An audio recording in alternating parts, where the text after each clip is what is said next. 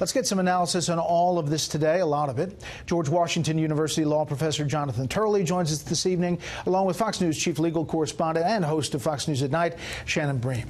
Uh, thank you both. Jonathan, I want to start with the Cohen case. And these are the charges, the guilty pleas, uh, five counts of tax evasion, one count of making a false statement to a financial institution, one count of willfully causing an unlawful corporate contribution, one count of making an excessive campaign contribution.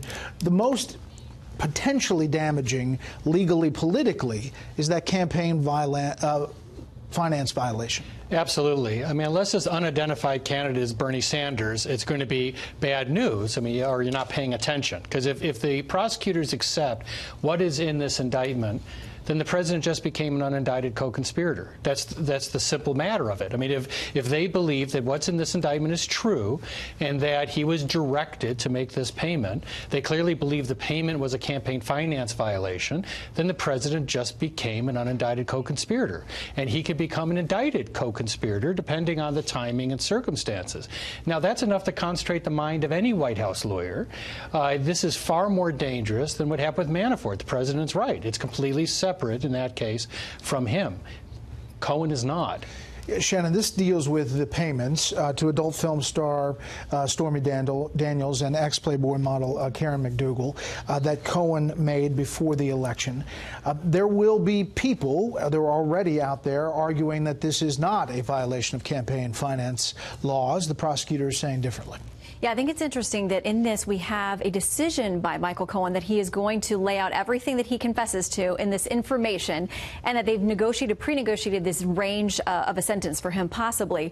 Uh, but it's interesting that he has said that he's not going to cooperate. That wasn't part of this deal, that he would cooperate with prosecutors. There are many people who say he's actually protecting the president by not having a big public trial over this, even though it may only have gotten him in criminal trouble. Uh, they say that even though the president may feel a little bit stunned and burned by this today, actually, Cohen and keeping this private and agreeing not to help prosecutors is actually a bit of a win for the president. I want to play two sound bites. One is the president on Air Force One being asked about these payments, and then Rudy Giuliani talking about paying back Cohen, one after the other.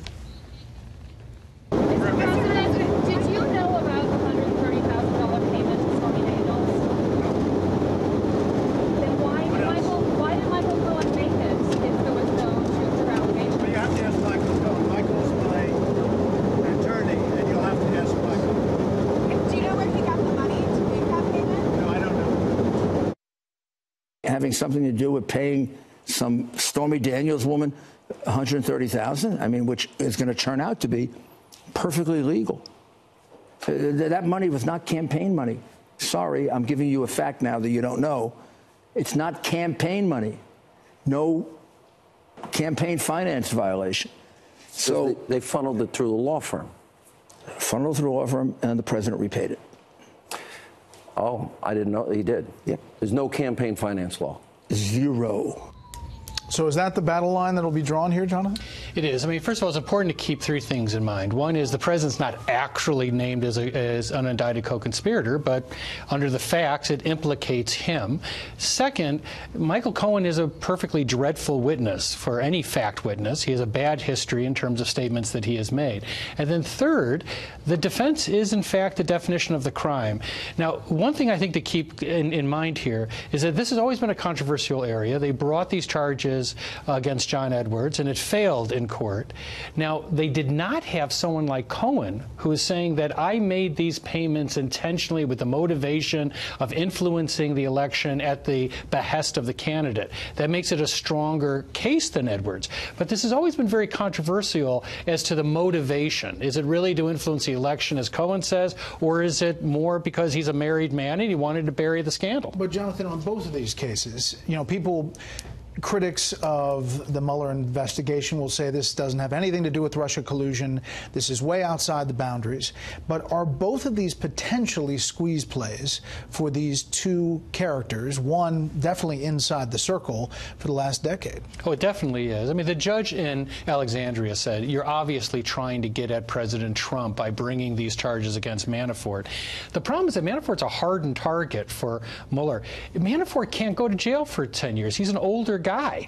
If he wants a deal, he wants a walkaway, and that means a pardon. And only one guy can give that to him. And it doesn't. There's no indication that Manafort is changing from that strategy. All right, when Michael Cohen, uh, Lanny Davis, just moments ago, uh, issued a statement. This is Michael Cohen's attorney saying, "quote Michael Cohen took this step today so that his family can move on to the next chapter.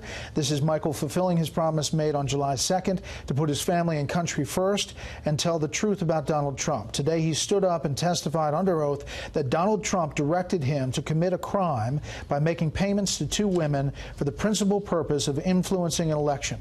If those payments were a crime for Michael Cohen, then why wouldn't they be a crime for Donald Trump? If anybody was doubting that the candidate wasn't named, Lanny Davis wanted to make sure we knew. Yeah, and then we get into this question of whether or not a sitting president can be indicted. And this is something that has been debated hotly. There are a couple of Justice Department memos from 1973 and from 2000 that talk about this.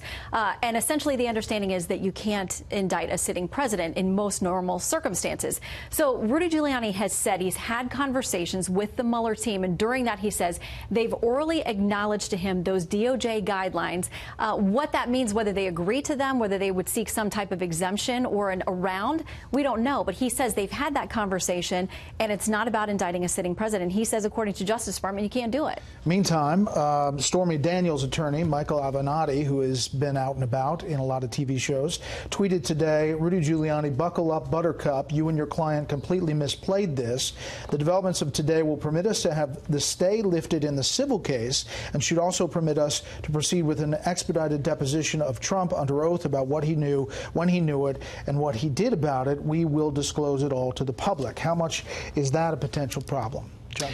Uh, you know, as much Michael's my former student, I, will disagree with him in one sense, um, and that is. Well, that's uh, breaking news right there. but um, but I disagree in one sense. I, I, it's very hard to expedite a deposition with a sitting president because they get a great deal of deference, and so there's still a rather long road to hoe in Although people look back to the Clinton years and look at uh, Paula Jones and say that was a deposition. That's right. But what you have now are all these crossing criminal investigations with get priorities with the courts, and they have to be coordinated. So I don't think you're looking at anything immediate or short term in that sense.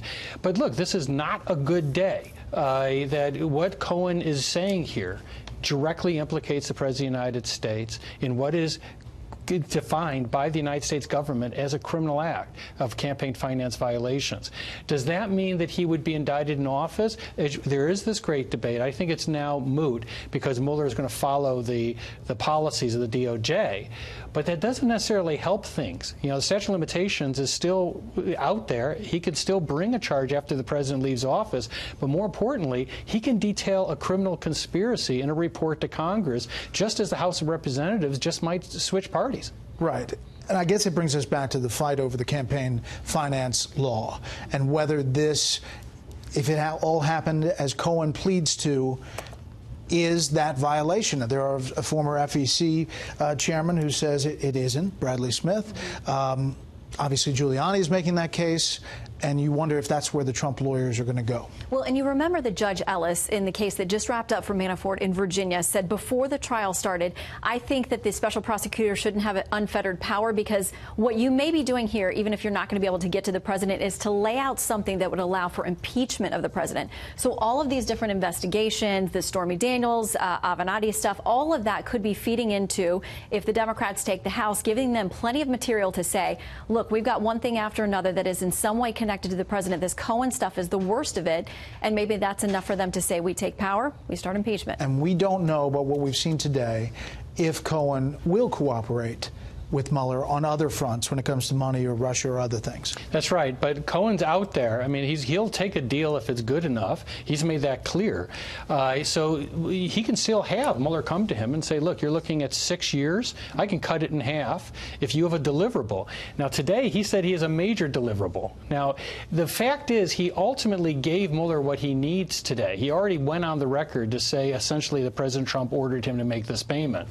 So he's locked in as a witness. Question is, does he have something more? Are there are some of those tapes relevant? Is Mueller now going to look at him and say, I'm willing to do a side agreement with you, give you a partial deal to ask the court to reduce your sentence? All of that is possible. Does Mueller have more power today? Absolutely. Exponentially? Yes, he's in a much better and a, a much stronger position. Shannon, Jonathan, thank you. Shannon, we'll see you tonight, 11 p.m. Eastern Time, Fox News. News at night. Thank you both. Thank you.